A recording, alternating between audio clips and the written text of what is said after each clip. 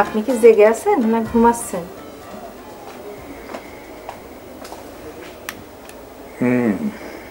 কি করতে চাও সেটা কও। না মানে আর একবার কি ওদের মাফ করে দেওয়া যায় না? না মাফ করে দেওয়া যায় না। মানে করছিলাম কি আপনার মেয়েদের মাথার মধ্যে একটু গন্ডগোল চলতেছে এটা তো আপনি জানেন। আর আপনার মেয়েরা কিরাম সেটাও তো আপনি জানেন। সবই জানি। তাগের মাথায় পানি ঢালতে কও সব ঠিক হয়ে যাবে। ঠিক আছে। আর শোনো ওগের কোনো কথা নিয়ে আমার কাছে আসবে না। কোনো সুপারিশ আমারই করবে না। বুঝিস বুঝতে পারছি। যাও।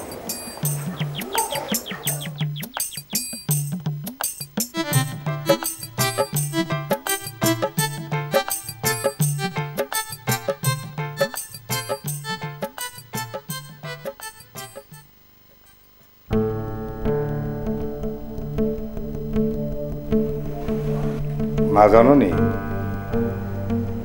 আমি ছোট আম্মা জানরে নিয়ে কানাইপুর জমিদার বাড়িতে যাচ্ছি। আপনার কিছু কর থাকলে আমারে করতে পারে।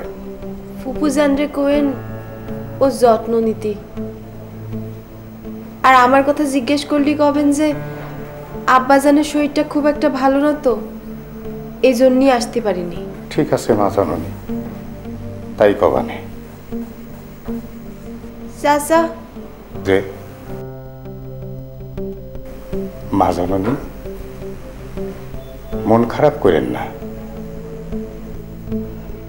আব্বাজানের মনটা ভালো হলে আবার বই কিনে দিবানে। আমার বই কিনে দিলেও আমি আর পড়ব না। মা জননী এ কথা বলতি নাই। বিদ্যা হচ্ছে অমূল্য ধন। সেটা আমিও জানি। কিন্তু আমি চাই না যে জমিদার বাড়ির কারোর মধ্যেই জ্ঞানের আলো প্রবেশ করুক। এটা কিরম কথা কন মা জননী? আমি ঠিকই করছি। আমি এই জমিদার বাড়ির ধ্বংস চাই। সাধারণ মানুষ যাতে মানুষের মতো বাঁচতে পারে আমি সেই ব্যবস্থাই করব। চাচা